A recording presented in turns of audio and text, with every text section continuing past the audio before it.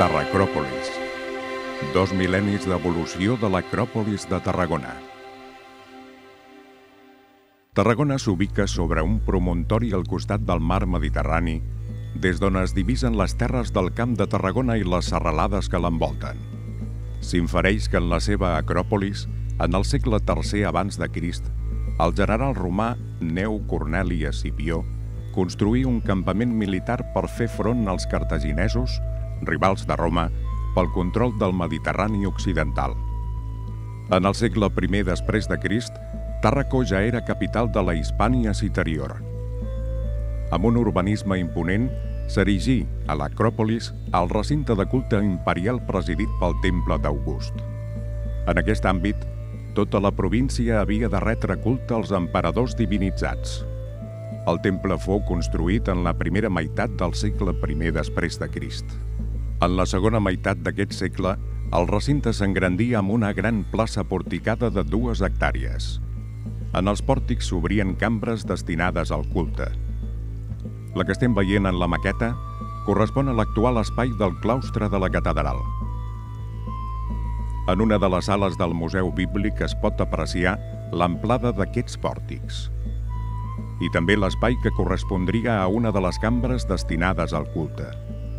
En el seu subsol resten les fonamentacions d'aquesta cambra dedicada al culte que actua a la vegada com una cisterna. Una gran aula, a la manera d'un temple, fou ubicada a l'extrem de la plaça. Part de les seves estructures es conserven a la catedral. Amb l'oficialització del cristianisme a partir de l'any 380, el recinte de culte imperial va anar perdent la seva funció religiosa. Les seves estructures perduraran fins a mitjan segle V. Possiblement, l'espai es va transformar en conjunt episcopal amb la catedral, el baptisteri i els espais de residència i d'administració del bisbe.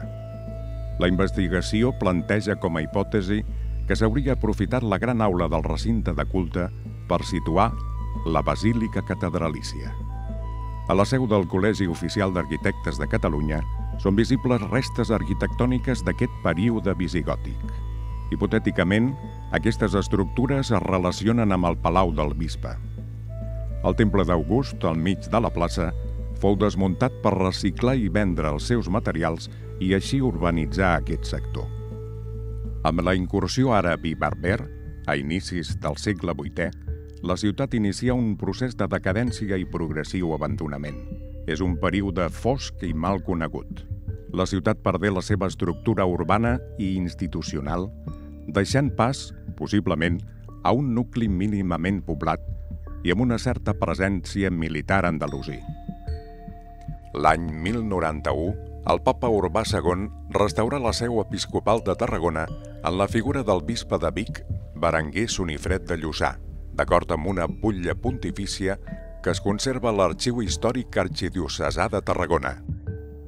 Però la presa de la ciutat no cristal·litzà fins al segle XII per iniciativa de l'arcabisbe Oleguer i l'acció militar del cavaller Robert d'Aguiló.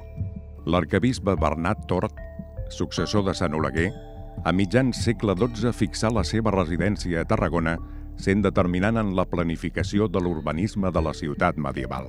Una maqueta ambientada en el segle XIV, situada al Museu d'Història de Tarragona, ens permet veure el resultat de l'evolució urbanística en època medieval. Així, en el segle XII la ciutat estava senyida per la muralla romana i tancava pel sud, aprofitant les restes del mur romà que separava els antics espais del fòrum provincial i el cir romà. Avui, les restes d'aquest mur són visibles en la línia dels carrers d'en Rajolat i dels Ferrers. El traçat urbà s'havia planificat ortogonal, ben ordenat. Moltes edificacions aprofitaren les grans estructures arquitectòniques dels recintes i edificis romans. La catedral s'erigia en l'espai central de l'antic recinte de culte imperial. Les obres van ser iniciades a finals del segle XII l'orientació de la catedral fou la mateixa que la del recinte de culte, nord-est. Això fou donat per dos motius. El primer perquè la seu medieval s'assentà en part sobre la llosa de fonamentació de l'antic temple d'August, que actualment es troba sepultada a poc més d'un metre de profunditat del paviment actual de la catedral. El segon motiu és perquè la construcció del claustre aprofità els murs de l'angle nord-occidental del recinte de culte imperial.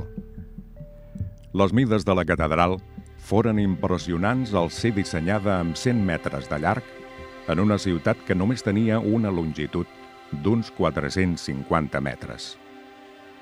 Era un signe visible de la restauració d'una de les esglésies més antigues dels regnes hispànics amb rang de metropolitana i primada. La catedral fou consagrada l'any 1331 per l'arcabisbe Joan d'Aragó, fill de Jaume II el Just. En el sector nord-oriental de la catedral es desenvolupà l'espai cementirial amb la capella funerària de Santa Tecla la Vella, datada entorn als inicis del segle XIII. Al costat oriental de la catedral s'aixecava el castell del Patriarca, residència de l'arcabisbe. Fou iniciada la seva construcció al segle XII i els diferents arcabisbes romangueren en aquest castell fins al segle XVI. Al costat del castell del Patriarca s'alçava l'edifici de la Cúria del Vicariat, centre administratiu de l'Església de Tarragona. Part de les restes d'aquest conjunt són aprofitades per l'edifici on vostè es troba ara. És l'anomenada Casa dels Concilis.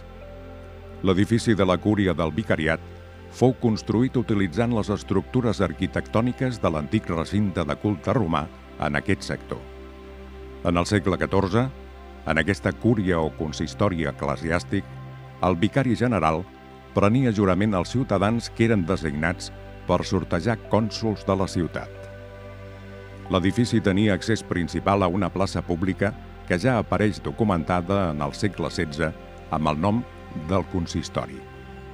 Aquesta plaça posava en comunicació el castell del Patriarca, la Cúria i una entrada lateral a la catedral que s'obria on actualment es troba la capella de Santa Tecla. Al costat de l'edifici de la Cúria del Vicariat s'aixecava l'Hospital de la Seu, destinat als veïns i veïnes pobres de la ciutat. Aquest hospital va ser creat en el segle XII. A partir de 1464 es rehabilità i s'hi va afegir l'Hospital de la ciutat. El nou hospital es posat sota la invocació de Santa Tecla. Actualment és la seu del Consell Comarcal del Tarragonès. En el sector occidental de la catedral s'alçava una fortalesa vinculada a la canongia.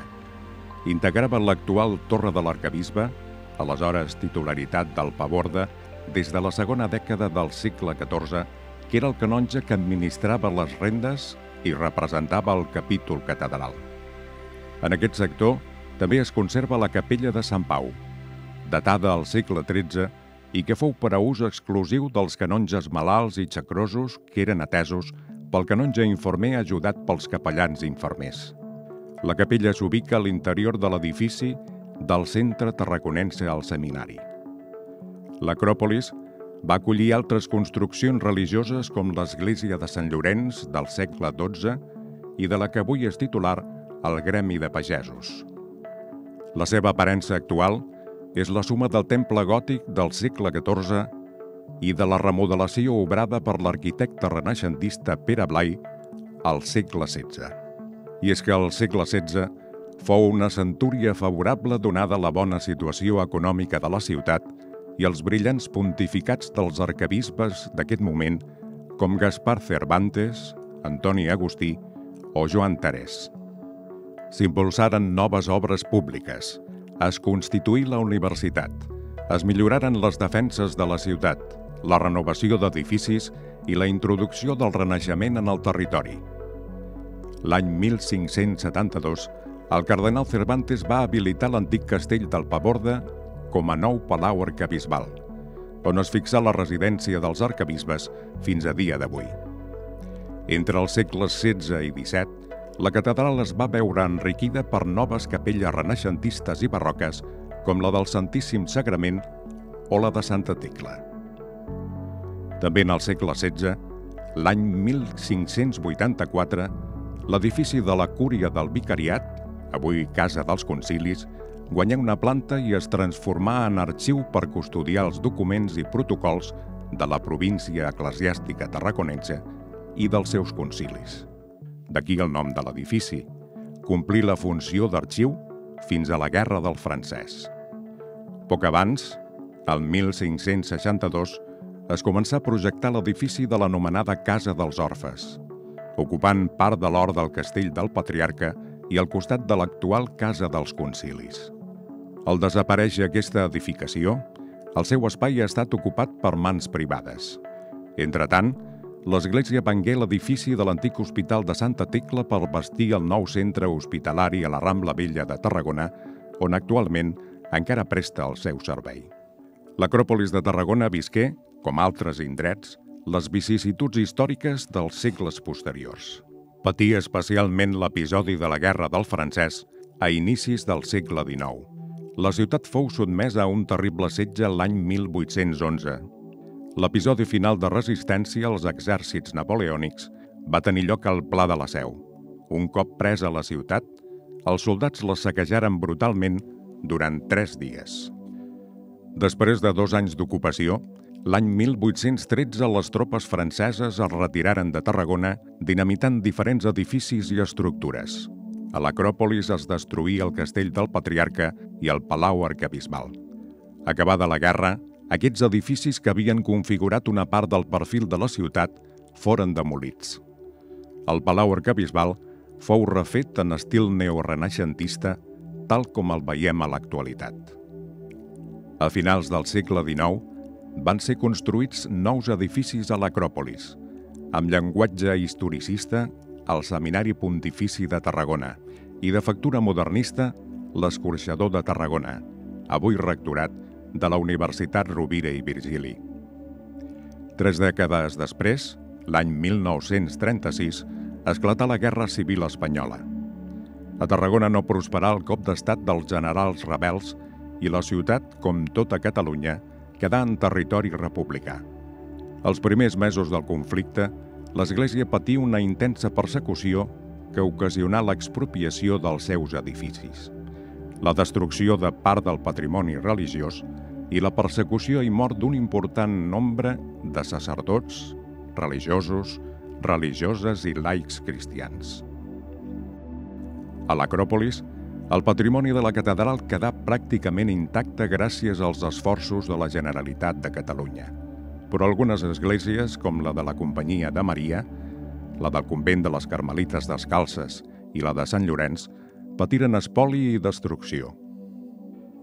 Amb el desenvolupament del conflicte bèl·lic i l'establiment del front de l'Ebre, Tarragona i el seu territori es convertien en objectiu de l'aviació del bàndol insurrecte que, sistemàticament, bombardejava la ciutat i poblacions veïnes. Es constituïren juntes de defensa passiva i s'habilitaren refugis antiaeris per a la població. La Casa dels Concilis fou espai de refugi. S'aprofità la xarxa històrica de cisternes del seu subsol i a més s'excavaren per sota d'aquestes un seguit de galeries en la roca per donar refugi a més de 700 persones. Quan les alarmes sonaven, la població havia de baixar al refugi i allà esperar amb un terrible estat de por i d'incertesa al final de cada bombardeig. Aquesta situació es prolongà fins l'any 1939, moment que acabà la guerra amb la victòria del bàndol insurrecte. S'inicià així un temps de dictadura i de forta repressió que en molts casos comportaren sentències a mort i que marcà la vida de moltes persones i famílies. Un dels escenaris d'aquesta repressió fou l'anomenada presó de Pilats.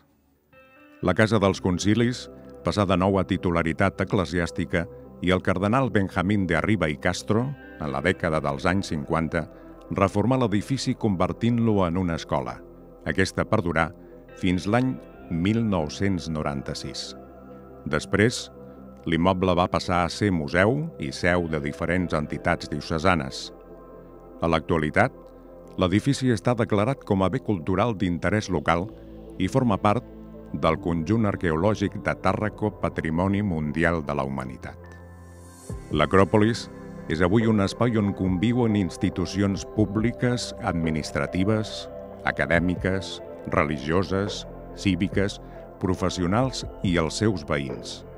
De les restes del recinte de culte imperial a l'edifici del Col·legi Oficial d'Arquitectes de Catalunya, obra de Rafael Moneo, a l'acròpolis de la ciutat es fon el passat, el present i el futur. Cap visitant resta indiferent a un indret tan fascinant on la història és la protagonista.